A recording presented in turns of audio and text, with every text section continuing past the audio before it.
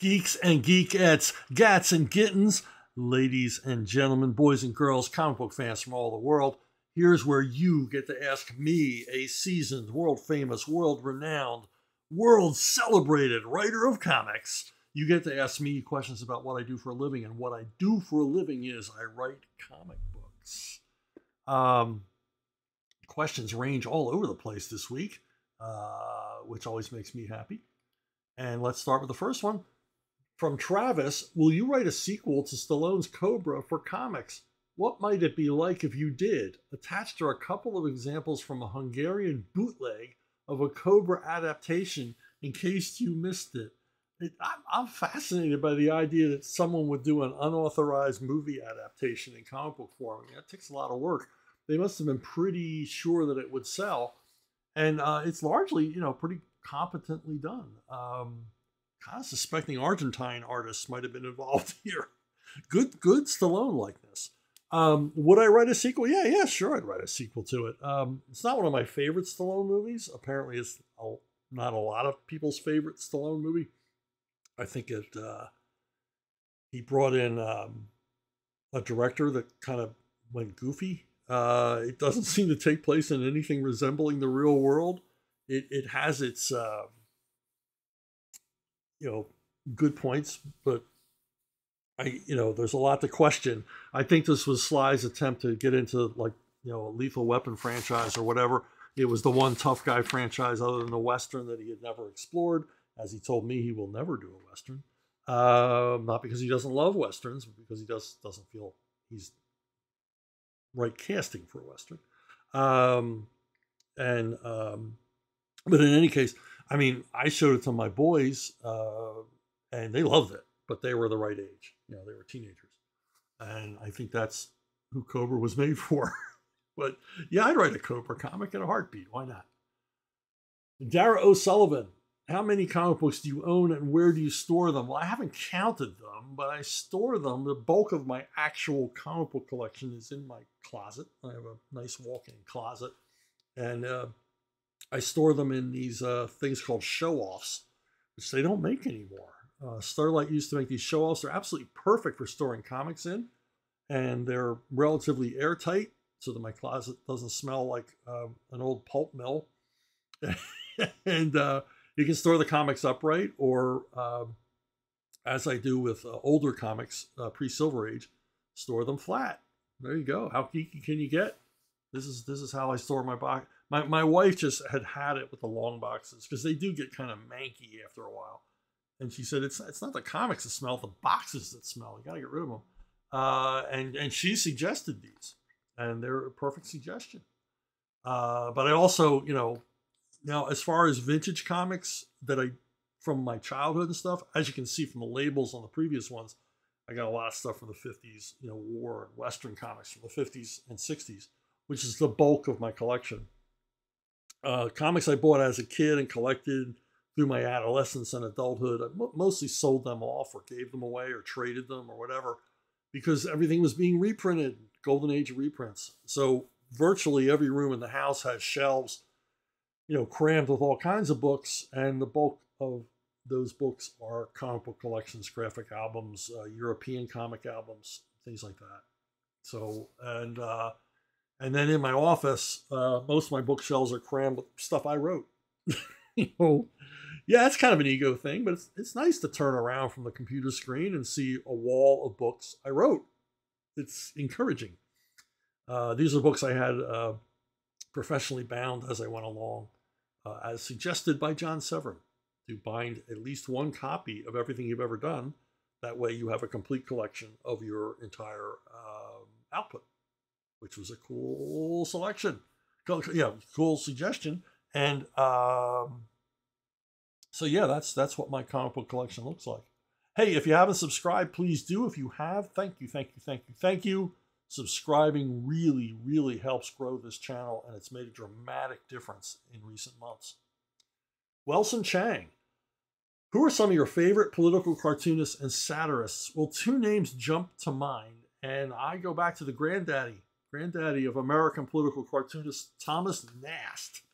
Thomas Nast worked for newspapers back in the 1800s, and um, he really, for my money, I mean, there's a, you can see a lot of prior political cartoons and uh, stuff from England and stuff from France, and it all seems rather obscure. And uh, the the cartoon is largely driven by what the, the likenesses of famous political figures and and the, and the the gags are driven by what the people say. And Nast was better at just having an image, not relying on verbiage. And uh, you know, I always like that. I'd rather see the picture than have a story told to me. And uh, images like this made him hugely, hugely popular in the New York press. Uh, and his work was so effective.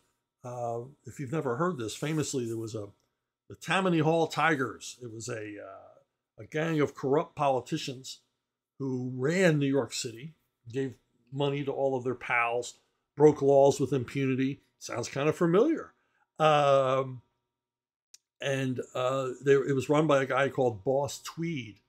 And Nast's cartoons were so on the money and so understandable, even to illiterates, like recent immigrants to the United States, because he relied on imagery. They knew who these people were in the pictures. Um, they uh, he brought down the Tweed ring. He is he is given almost all credit for bringing down this corrupt cabal of politicians and businessmen and, and criminals. Um, and Tweed, uh, after his trial was being sent to jail, uh, basically admitted that he could have gotten away with it if it wasn't for those damn pictures in the paper. And those were Thomas Nast's pictures. And uh, the, the, the gag line for this uh, cartoon is "Twas him," and basically, I mean, you can understand. Everybody's blaming each other. Uh, it's not my fault. I didn't do it. He did it. Uh, again, familiar. We see this all the time in politics. But he was great at imagery, uh, and obviously, so absolutely beautifully drawn. Guy knew how to draw for um, newspapers, which weren't always printed on the best of paper. And he's also responsible for things that linger to this day. If you've never heard of Thomas Nast, you know his work. He is um, generally credited with the popular image of Santa Claus in the United States, which of course has become the standard image of Santa Claus worldwide. Uh, Nast also created other symbolic and iconic characters. He created the elephant to represent the Republican Party and the donkey to represent the Democrats. And uh, so, obviously, uh, a terrific influence, uh, our first great political cartoonist. And uh, I pick him because I, I like his work. It's still funny. A lot of the stuff he wrote is still funny today, uh, even if we don't get all the topical references. And, and as you can see, he's an amazing artist, absolutely amazing artist. Um, another guy who leaps to mind is uh, Pat Oliphant. And Oliphant uh, drew cartoons and newspapers. Uh, he's still with us. He's still with us. I think he's 95 years old now, but he drew comics uh, from like the late 60s into the 2000s. I, I don't know what he's done recently, but uh, looking here, he's very much of the Nast school. He has a looser, uh, more bravura style, more cartoony style. Um, but I, have always liked his stuff, his choice of imagery and everything else. And he's rare among political cartoonists in that I like him. I like his stuff, even though I don't always agree with him. And to me, that's the key uh, because I don't always agree with him, but I don't always disagree with him. Uh, he, you know, so many political cartoonists pick one side or the other, and and and that's it. They're locked into an ideology. And Oliphant never seemed to be. He seemed to want to mock everybody. Uh, you know, when he saw something, an injustice, or something that just didn't feel right, he would do a cartoon on it. And sometimes he was attacking people that uh, I, I admired or I, you know, didn't. But but he always attacked them from a standpoint of, well, yeah, he has a point, you know, or at least he's coming at this honestly it isn't just you know a hate piece.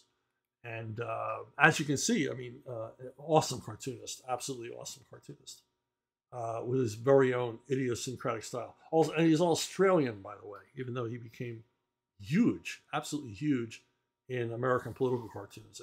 I think for a while there, he was the most syndicated political cartoonist in the United States. Dick Kerbo attached attached are panels from Detective Comics number 741 during the No Man's Land storyline written by Devin Grayson and Greg Rucka.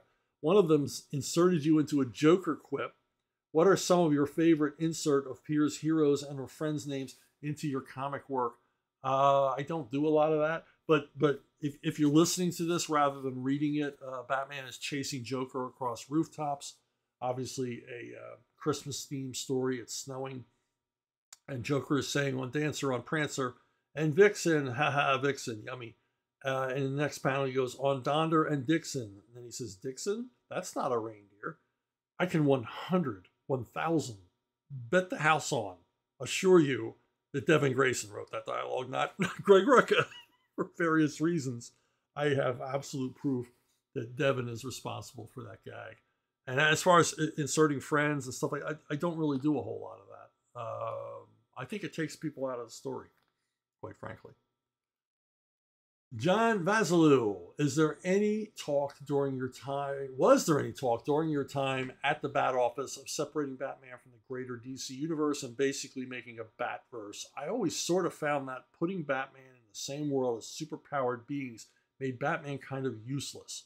If you didn't make up contrived reasons why they couldn't just pop into Gotham and help. Well, I know one guy that would have made real happy if we could have carved the a Batverse, a separate Batverse. Denny would have been very, very pleased. Denny was always about keeping the Batman universe separate.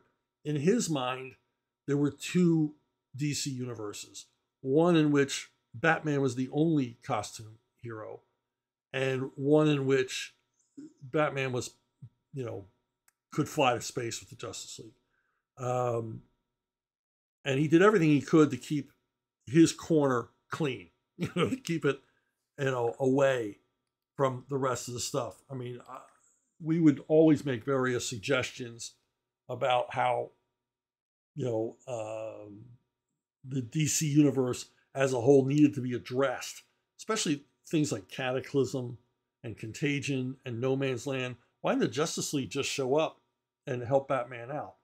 And we always had to address that, come up with a reason why. Um, one of the ones I, one thing that I've, I've described this before, but Denny shot me down on was following Contagion. I'm a logistics guy, not Contagion. Following Cataclysm, we needed Wayne Manor back in place. Now, Wayne Manor had been destroyed in the earthquake that knocked down most of Gotham. We needed Wayne Manor back in place, but but I said, you know, how can you bring in a construction crew to rebuild the manor the way it was, and they don't discover the cave underneath? I mean, there's no way they would miss that, you know, because they're going to have to dig a new foundation and put pilings down, and they're going to run into that cave. And I said, what if, what if they build it off-site. They build the whole mansion off-site on a pad, right? and um, so it's not on the main Wayne property; it's somewhere else.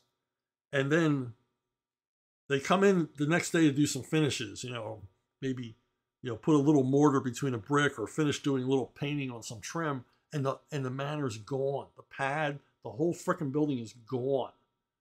And and then we see Bruce and Alfred arriving at the manor, it's back in place. It's right back where it used to be. This brand new rebuilt manor is is back on the same site above the cave.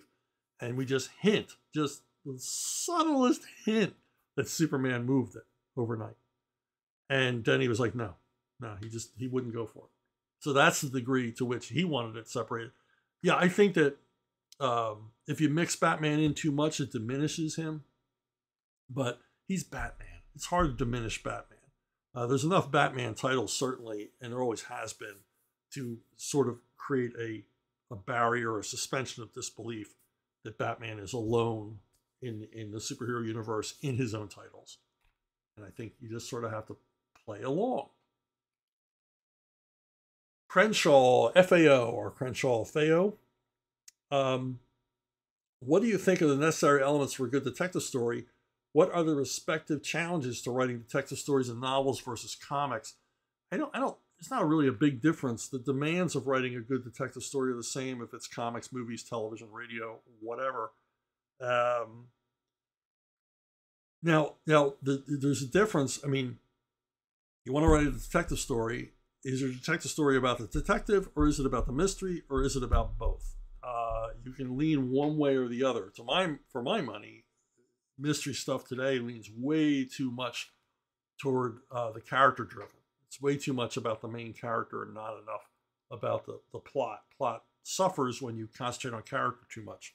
Um, you, for a good detective story, you need a balance between. And the thing is, is your is your detective story even a mystery, uh, or is it uh, like so many private eye stories, a story about you know lies and deception, uh, a a statement on the frailty and uh, vileness of human nature.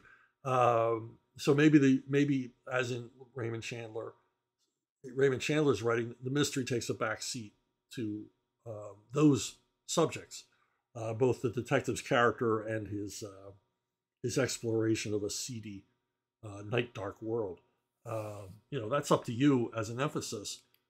Um, and detectives can come in all types, and of course you've got to make your te- detective a character. You've got to make him memorable. You have to give him him or her flaws and foibles and uh, you know interesting things about them, so that the reader wants to keep reading them. Uh, I mean, your detective in your story should always be the smartest guy in a story. Uh, maybe he leads with his heart every once in a while, but he always ultimately figures it out. You know, unless you're writing some kind of weird anti-mystery, and and then you've got, of course, the who done it elements. And if you're writing a a mystery story, you've got to kind of work backwards. You have to have your mystery resolved before you start. You you have to, and that's for me is the toughest thing about a mystery uh, story is um, you've got to know the ending before you can start the beginning. And how are you going to get there? And and uh, because you know, in a, there's there's several kinds of mysteries. There's the police procedural mystery, which your detective characters are cops, uh, and they're dealing with evidence in the way the cops do. They're dealing with forensics and canvassing for witnesses, and uh, you know whatever you know, uh, uh working confessions out of uh, perpetrators, and and then you have you know character mysteries. You know Sherlock Holmes and Hercule Poirot, and these are who done it. What they call fair play mysteries, in which all of the elements, um, not particularly in Sherlock Holmes, though, because you'd have to be some kind of freaking genius to know everything Holmes knows. But uh, within a fair play whodunit, uh, all of the elements are presented to you. So you could solve the mystery, you know, along with the detective or even prior to the detective. You're given enough information. It's not it's not like a Scooby Doo mystery where there's only one likely suspect. You know, generally you're given a number of suspects, a number of motives, and and but you're given enough clues along the way that you could figure it out. And that's like the attraction of a who done it and then a who done it mystery you very much need to know how it all works. Um, it's got to read logically as logically backwards as it does forwards. And i used to have a friend who would read who done it he'd read it forward and then he'd go back and read the chapters in reverse and find all the loopholes and and and you know uh, gaps in the plot line where this couldn't happen. You know, this guy couldn't have been in two places at once or whatever. Uh, so you've got to work it out seamlessly so that it all makes sense. And, and and the thing is, this can lead to some kind of sometimes lead to like really mechanical writing, and you want to avoid that. You want to still make it a story without the reader aware that they're reading a story, that they're they're experiencing these events along with the characters. So I mean, if you can write a good mystery story, if anyone can write a good mystery story, I mean, I my hat's off to you. I, have written a few. They're tough. They're tough. They're almost as tough as trap stories, which I will get into in just a few questions. J. Morgan Neal. Hey, hey, Morty. Um, war hero Neville Brand played one of my favorite Slav heroes, trademark Chuck Dixon, Reese Bennett in Laredo, and he became my ideal choice to play and voice Ben Grimm. What are your thoughts on Mr. Brand and whether you think he would have done right by Ben? And do you have an actor you think would do a great thing? Um, yeah, Neville Brand was actually the second most decorated GI, American GI of World War II, right after Audie Murphy.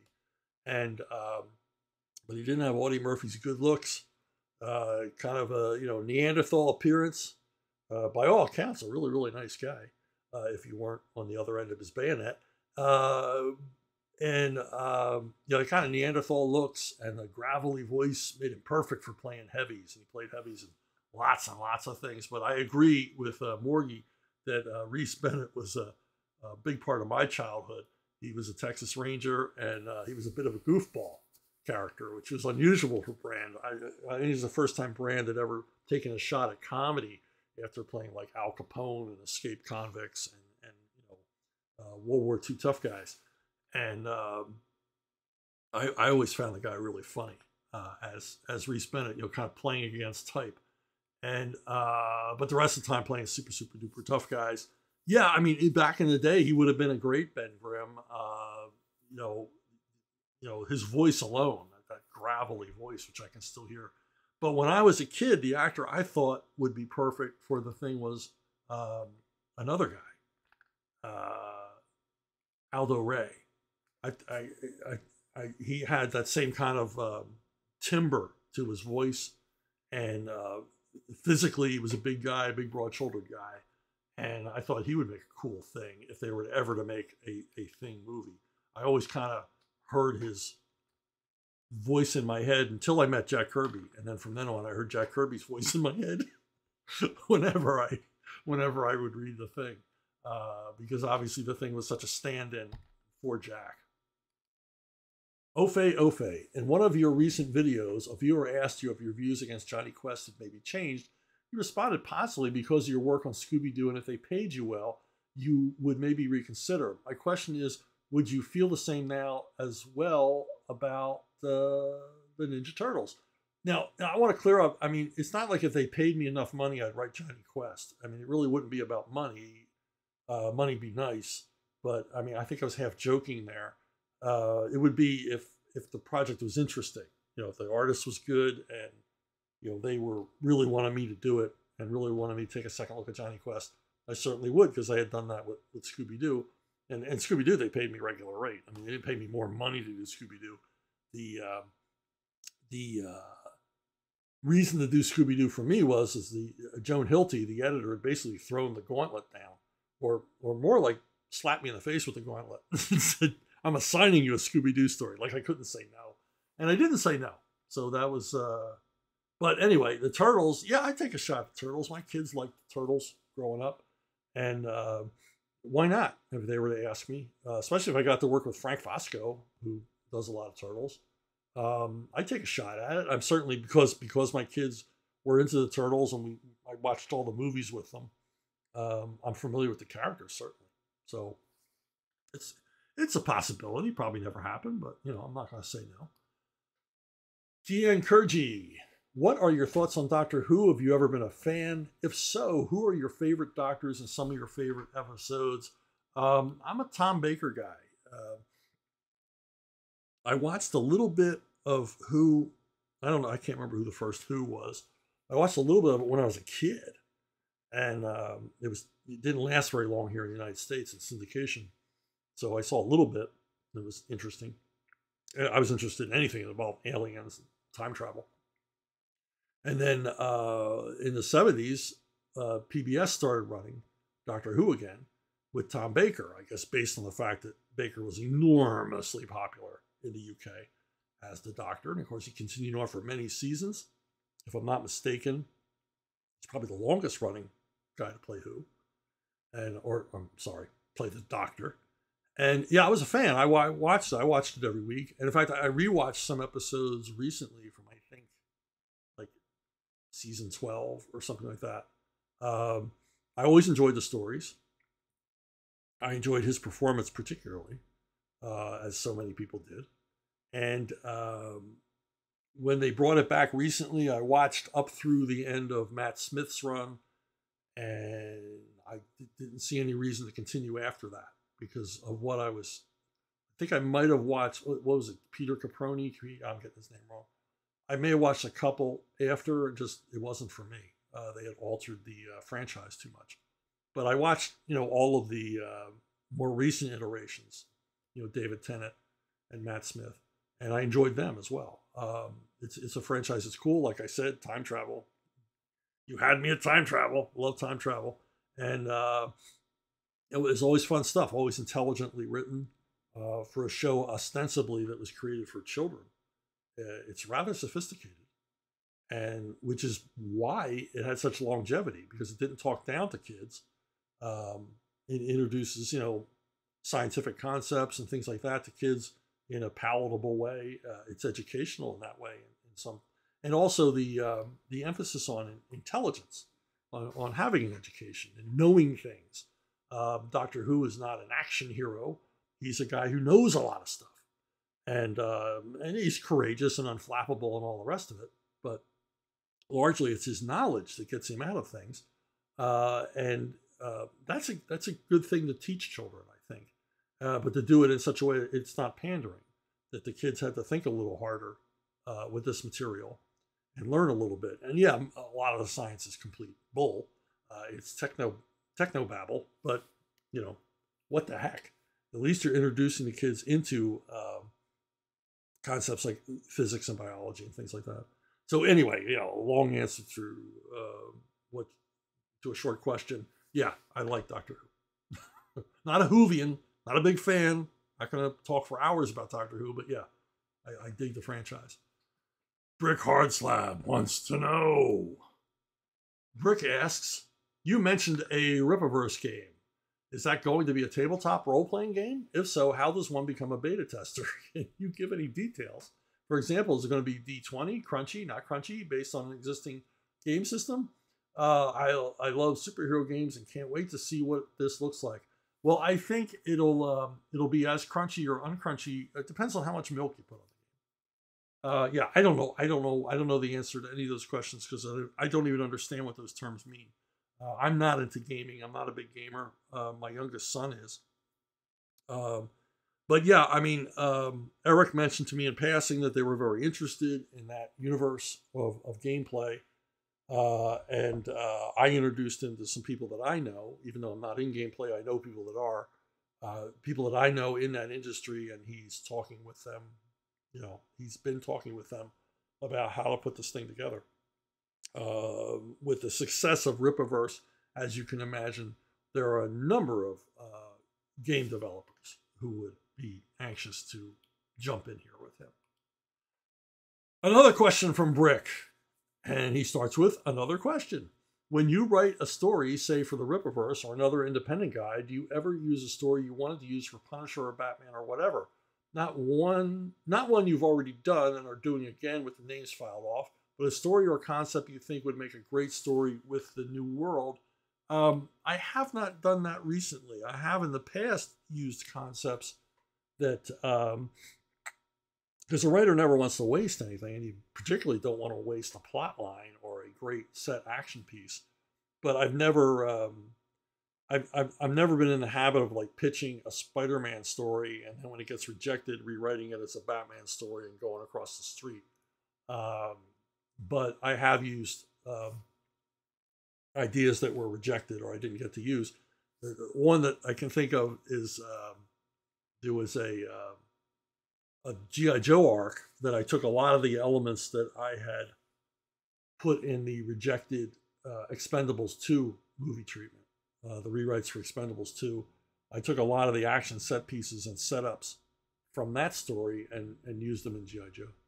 So uh, I have done that. Every writer's done that. Uh, you, you never want to throw an idea away, or it's always in the back of your head. And since you thought of it, you know, for me, if you come up with a plot, that's 90% of the writing. The rest of the job's easy.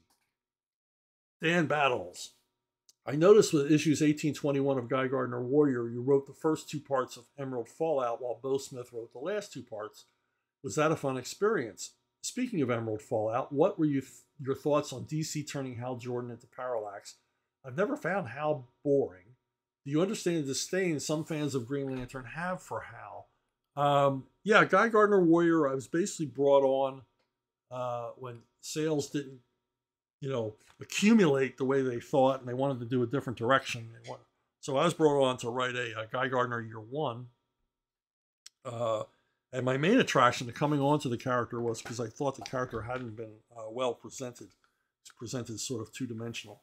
And the fact that he was somewhat of a direct character and implied that he was a political conservative, uh, or at least not a bleeding heart liberal, uh, I thought he had been uh, badly used, uh, misused. And I thought there's there's more to this character, uh, and so uh, Kevin Dooley hired me to do um, Guy Gardner, basically Guy Gardner year one, and talks about his childhood and how he becomes Guy Gardner, and growing up in Baltimore and things like that. So I filled in a lot of his background that never been filled in before. And uh, but my main reason for wanting to come on was to get to work with Joe Staton because I, I like Joe a lot. I love working with him, and uh, so that was my main impetus for wanting to be on the book. And and Kevin certainly knew that, and Joe certainly knew that. Uh, but after a while, um, the um, you know, I, I, guess sales picked up with the origin story, so they, they kept me on. But the uh, after a while, Kevin decided that Joe Staton was, was over. His comic career was over, and, and, people didn't want him anymore. He's blaming him for the uh, sales not rising, and, and also he wanted to alter the book and and change Guy Gardner's you know look and persona and everything else, and and came up with this idea for Guy Gardner Warrior to try to rescue the book these things never work.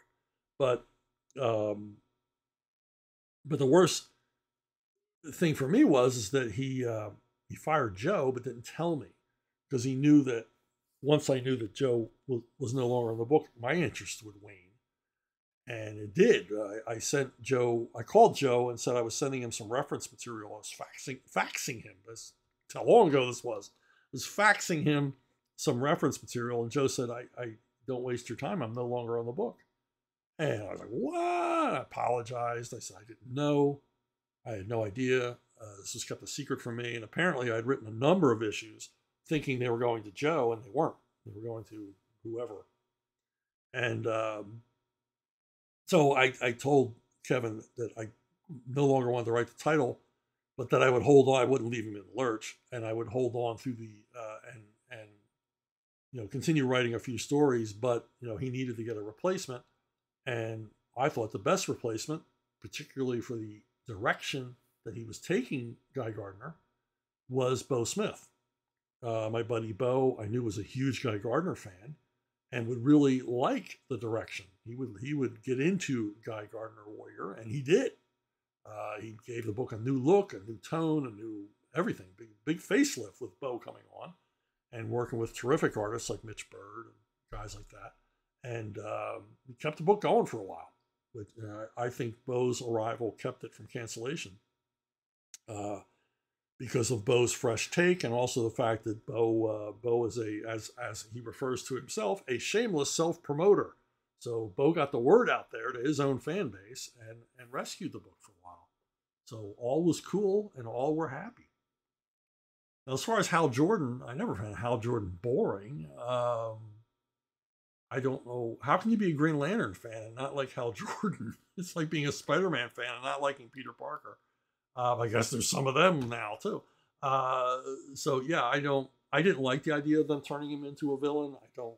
I didn't like the way they got rid of a lot of these uh, characters. You know, the Flash, it's tried for murder you know, Green Lantern becomes a uh, arrogant demigod, you know, out to rule the universe. Uh, it, it's all it was all part of the uh, deconstruction of the heroes that was going on in the period. I, I, really didn't like any of it. Um, at least Oliver Queen escaped that fate of being turned into a bad guy.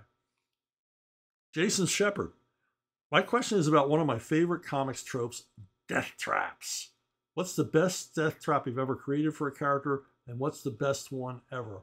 I'm with you. I love a good death trap, but they're usually disappointing. First of all, they're very hard to set up, very hard to put together. And um, I think they largely come out of, uh, for Batman, come out of the uh, 66 TV show, where, you know, every week uh, you'd have a cliffhanger where it was either a literal cliffhanger or he was facing some danger, or more often an actual trap. Here it's a gigantic rat trap.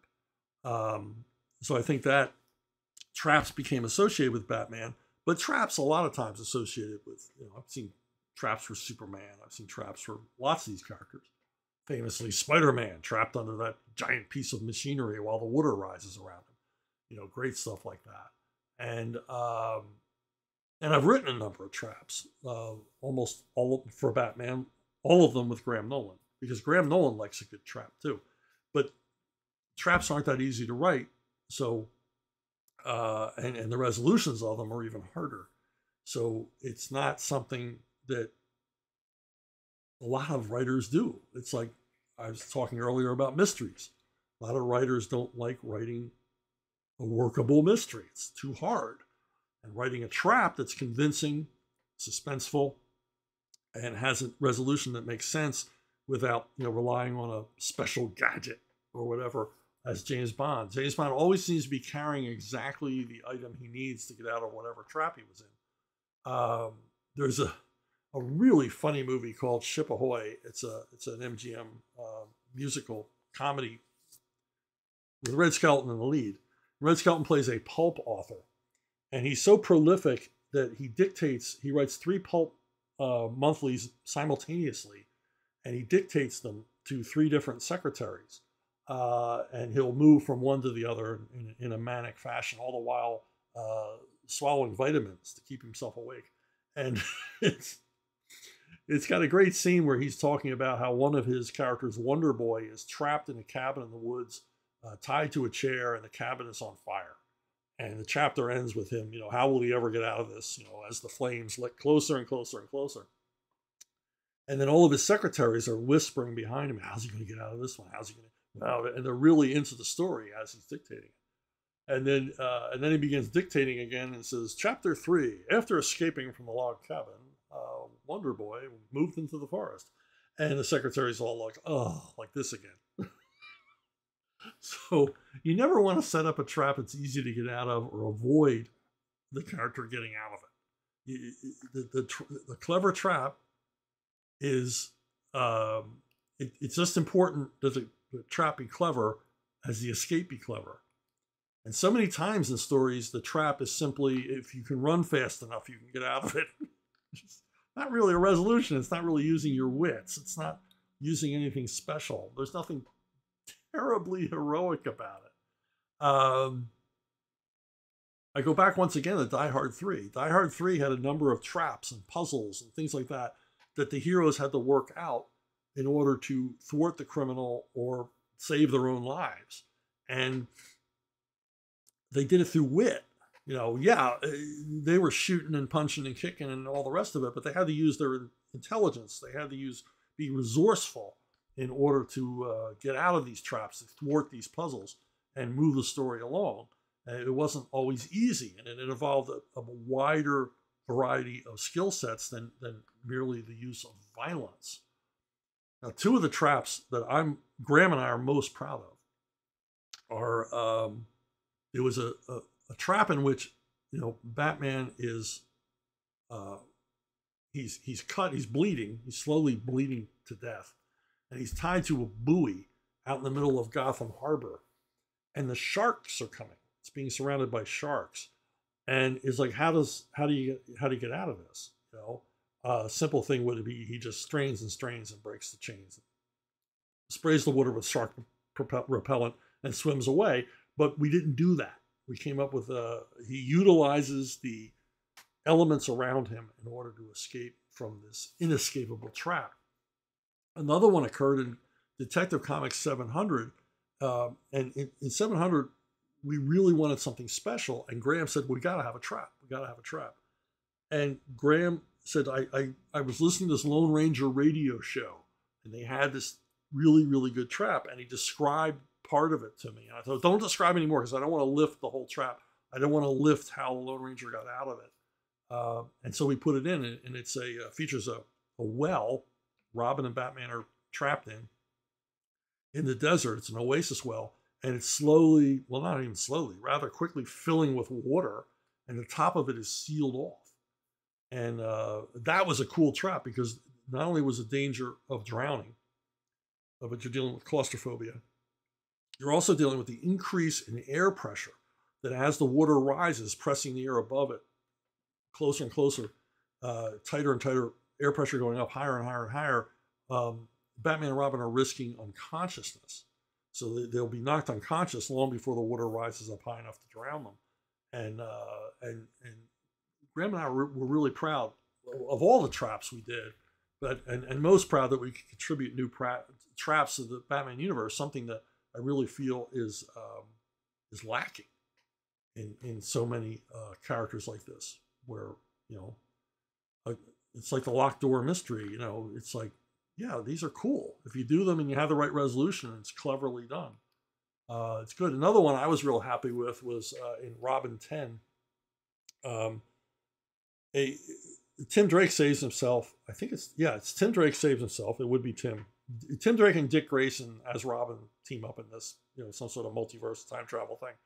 And uh, Tim Drake saves himself by his knowledge um, that he is forced in a situation where he, to, to save the day, he has to swim through a piranha infested water.